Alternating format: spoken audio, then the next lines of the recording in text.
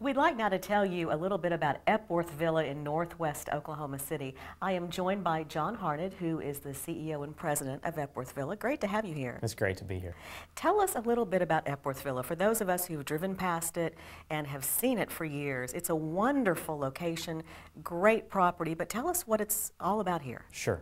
Epworth Villa is an accredited full-service continuing care retirement community. By that, it means that we've got the good housekeeping seal of approval in terms of retirement communities, and we serve all the way from independent living to assisted living, memory care, Medicare rehab, through long-term care. Then we also have home and community-based services like home health and private duty and hospice. So if a person is in a place where they're wanting to downsize and wanting to sell their home and wanting to have someone else do the housework and all of that, would Epworth Villa be a place they should consider? That'd be a great opportunity for them to engage in life and meet new friends. And we've found over time that the more engaged people are, the more happier they are, and the more they tend to thrive in life. You all have a lot of services with regard to that, because I know wellness is a very important part of the whole Epworth Villa concept, isn't it? It is. Whole person wellness, we look at the entire mind, body, and spirit of an individual. And so we try to create programs that involve their mind. So we have speaker series who come in. We've got a partnership with OSU, and they provide college level classes for our residents.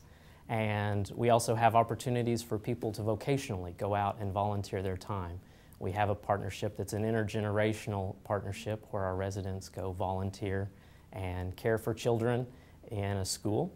And we also have a fitness center on site where we have classes multiple times a day, whether it's water aerobics or land-based fitness.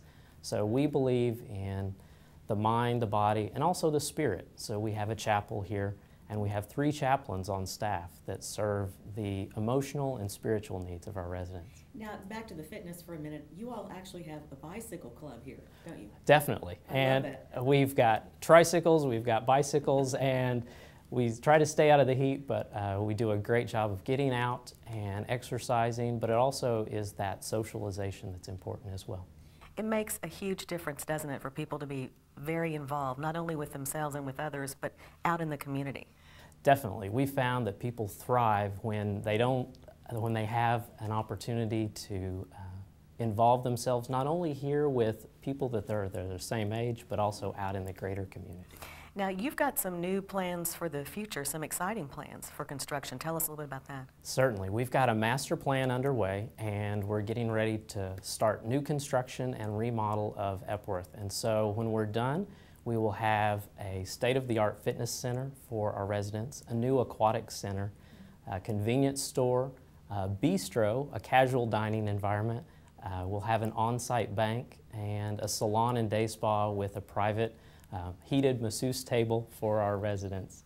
That sounds like a tremendous plans for the future. I love it. We're very excited, and we hope to add a full-time physician on staff to keep our residents uh, fit and independent and thriving. Mm -hmm.